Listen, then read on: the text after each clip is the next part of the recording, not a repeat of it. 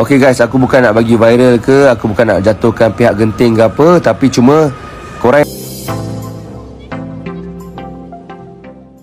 Seorang lelaki bersama rakannya mengalami mimpi ngeri apabila mereka dikejutkan dengan dua orang wanita yang cuba menculik anak yang ditinggalkan bersama ibunya.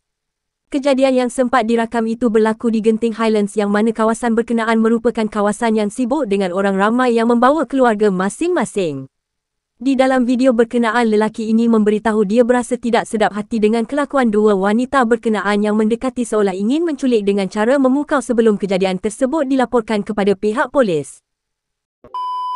Okay guys, aku bukan nak bagi viral ke Aku bukan nak jatuhkan pihak genting ke apa Tapi cuma Korang yang datang ke indoor timpak genting Skytropolis tu minta berhati-hati jika bawa anak Sebab apa? Semalam dua orang depan aku ni Yang pakai telekong ni which is Pakistan Yang pakai tudung putih tu Indonesia Dah buat ancaman kat kita orang.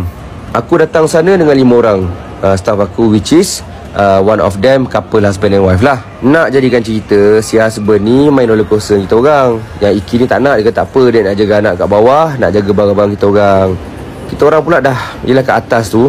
Nampak daripada bawah kenapa si Iki ni dah dikerumuni oleh 2-3 orang pakai telekong ni? Pelik lah siap macam ada tergesa-gesa macam macam tepi-tepi macam tu kan? So rupanya yang pakai telekong tu nak tarik anak Ikin sembunyi dalam sehari dia tu. Macam nak colik lah. Dia set libas-libas Barang-barang kita orang tu Macam baca-baca something Nak macam pukau ikin lah. Tapi spell ni mungkin tak jadi ke apa. Husband ni turun je dalam coaster tu Lagi terus cari polis.